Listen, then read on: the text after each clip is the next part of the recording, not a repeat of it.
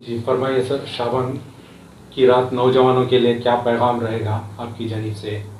नशे की हालत में व्हीलिंग वगैरह करते हैं, इसके लिए आपकी तरफ़ से एक पैगाम। अस्सलाम वालेकुम रहमतुल्लाहि वरकatuh सबसे पहले तो मैं अल्लाह का शुक्र अदा करता हूँ। अल्लाह ताला हमें आज शाबान नसीब फरमाया। शाबान की रात, अहम रात है, ये नसीब फरमाई। पूरे अहल इस्लाम, ब्रदर इस्लाम, कौम मिलत को मैं शब बारात की परखलूस मुबारकबाद देना चाहता हूँ।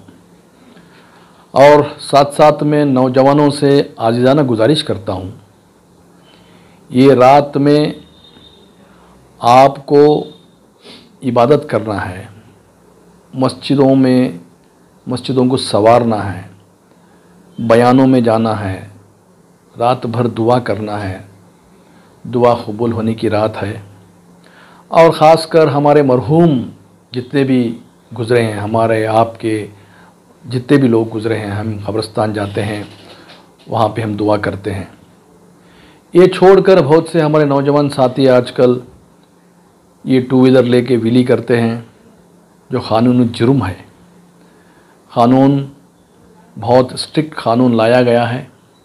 जो भी विली करता है, उसको भी सज़ा दी जाएगी। जो करवाता है, उसको भी सज़ा मिलेगी। जिसकी गाड़ी है, चाहे वो आपकी हो, चाहे आपके दोस्त की हो, चाहे आपके वालदेन की हो, उनको भी सज़ा दी जाती है। तो मैं आपसे गुजारिश करता हूँ, आपकी एक गलती से आपका पूरा ख़ानदान परेशान होता है। आपके माँ बाप परेशान हो जाते हैं। आप ये मत करो, विली करना छोड़ दो। विली से कुछ होने वाला नहीं है। अगर आपको विली करना का इतना ही शौक़ है तो बहुत से ट्रैक्स रेसिंग ट्रैक हैं, आप जाइए, वहाँ पे आप रेस कीजिए।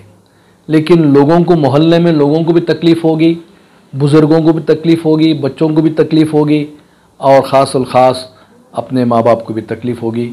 ये मत ये मत करे, ये मेरी आजीज़ाना गुजारिश है।